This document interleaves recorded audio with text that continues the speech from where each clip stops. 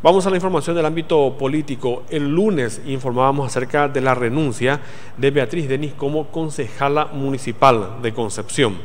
No solo de su junta, sino que en general como concejala municipal. Ahora se espera la oficialización de la renuncia ante el Tribunal Electoral o la Justicia Electoral. Eso es lo que están esperando los concejales de la Junta presidida por el abogado Miguel Domínguez y eh, ella no presentó ninguna renuncia ante la Secretaría ni ante el presidente eh, y dijo que lo estaría haciendo justamente ayer a la tarde por su radio, por su medio, estaba diciendo que lo presentaría en estos días ante la justicia electoral. Eso es lo que mencionó la, señora. Pero por ahora son puras especulaciones, porque por más de que haya dicho que renunció, todavía no hay nada por escrito.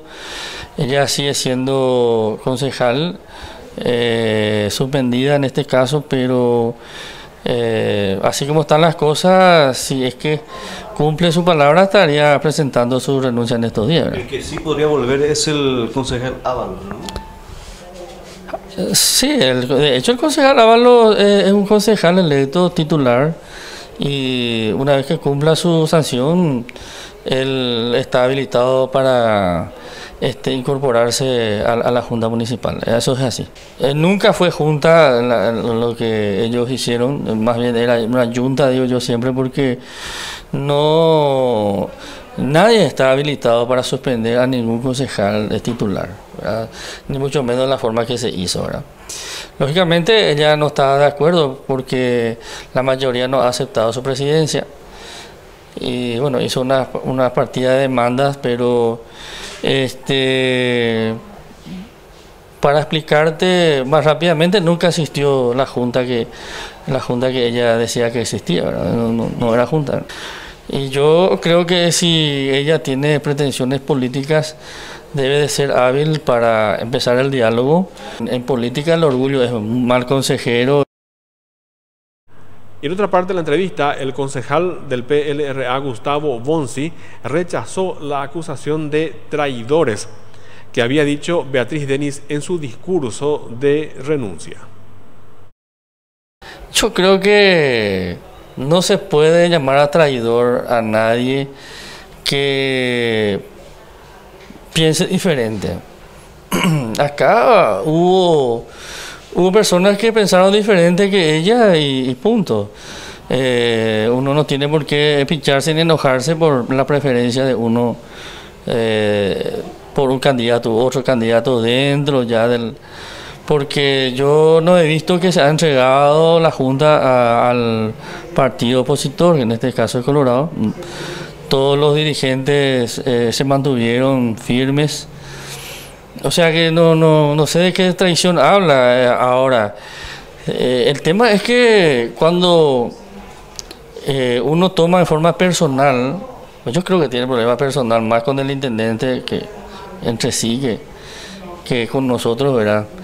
Yo no, no creo que eso sea traicionar al partido. Si vamos a hablar traicionar al partido, bueno, sería otra cosa. Y, la verdad es que eh, decir eso es muy ofensivo. Y si yo también, si yo abro la boca y, diciéndole dónde están sus defectos, bueno, vamos a discutir bastante qué es traicionar al partido. Acá creo que hubo una disparidad de opinión, disparidad de posiciones, pero no traicionar al partido. Yo de ninguna manera. Traicionar al partido sería que haya una directiva y que uno no cumpla, por ejemplo. Eso sí sería traicionar al partido. Pero porque yo elija otro compañero liberal para ser presidente no quiere decir traicionar al partido. ¿O acaso ella no puede ser presidenta? Renunció Beatriz Denis, pero sigue como concejal municipal Epifanio Ábalos pero el mismo tiene una sanción de 90 días impuesta por la Junta Municipal presidida por Miguel Domínguez. Una vez levantada la sanción, el mismo podrá volver a su banca, dijo un concejal colorado. Creo que en una mini conferencia de prensa, ¿verdad?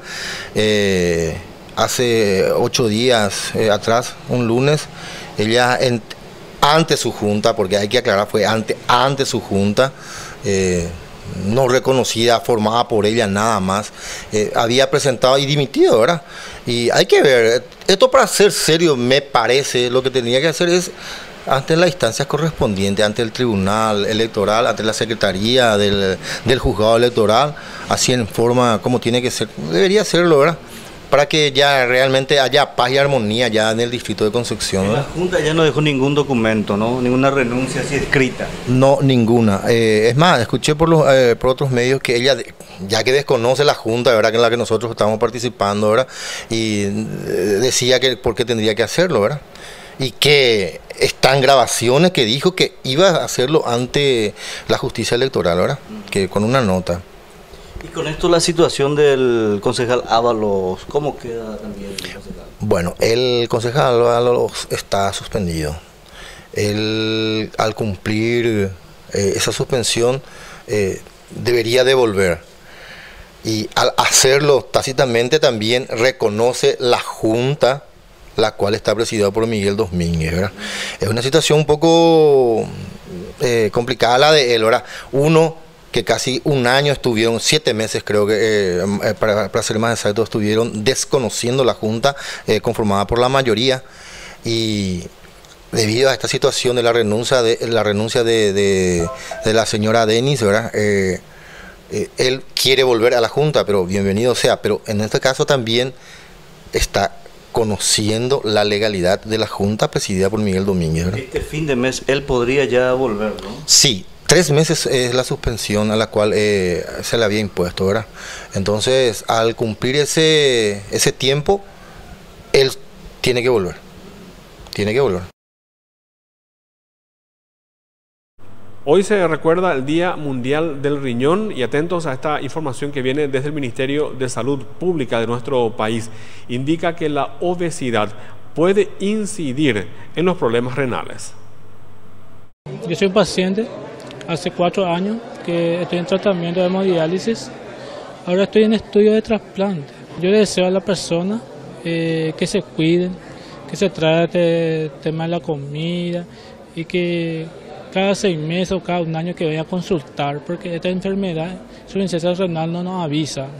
Gustavo Fonseca es de Villarrica y debe trasladarse hasta el Hospital Nacional de Itagua tres veces por semana para su tratamiento. Al igual que otros pacientes, participó del acto por el Día Mundial del Riñón en el Ministerio de Salud. Según datos oficiales, entre el 8 y el 10% de los paraguayos tiene algún daño renal y la obesidad es un potente factor de riesgo. La buena noticia es que la enfermedad renal crónica se puede prevenir con hábitos muy simples. Se incentiva la práctica deportiva como un hábito y eh, la alimentación saludable para prevenir la obesidad porque la obesidad es un factor de riesgo independiente para el desarrollo de enfermedad renal crónica y a la vez también para enfermedades como la diabetes que es eh, la causa más frecuente de eh, enfermedad renal crónica en estadio 5 en el mundo.